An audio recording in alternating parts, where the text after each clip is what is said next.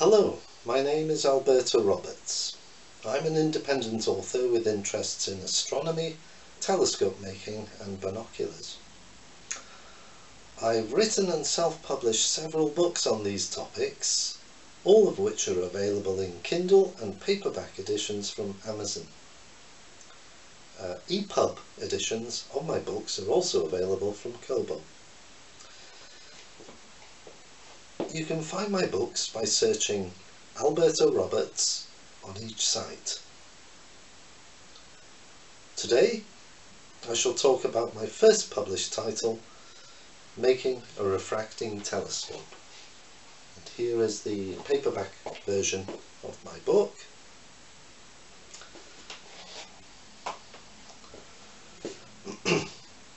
This would be a good starting point for anyone wanting to build their own basic astronomical telescope.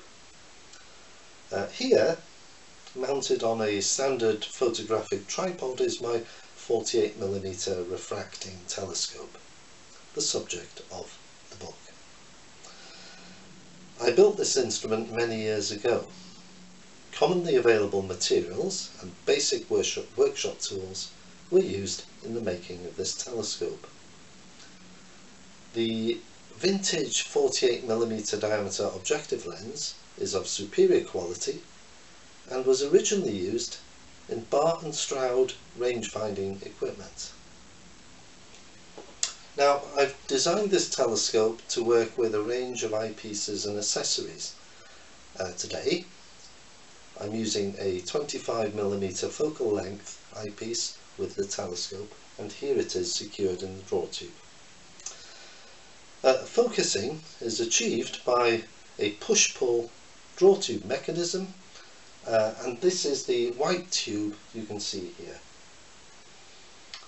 Uh, the telescope is aimed at a view from my window. Uh, mountains and a tall chimney stack can be seen in the distance. So if you bear with me, I shall remove the camera from the tripod so that you can see this view.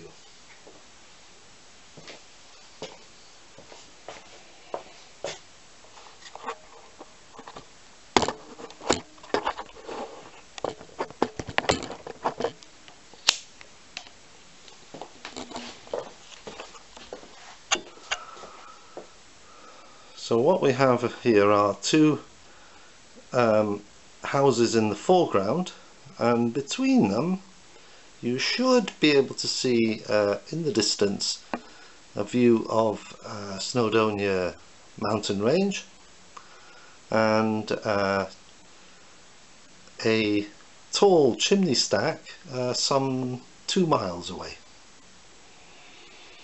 I shall now reposition the camera so that you can see the view through the eyepiece of the telescope.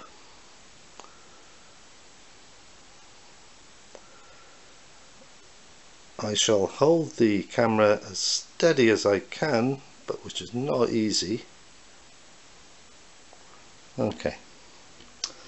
Please bear with me once again as I replace the camera on its on its tripod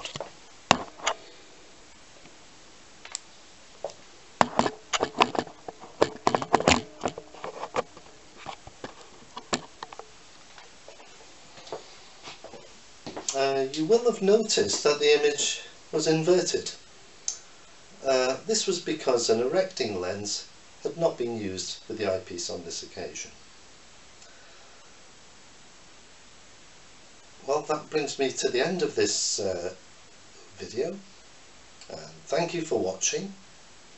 I would like to wish you every success in your telescope making projects. Thank you.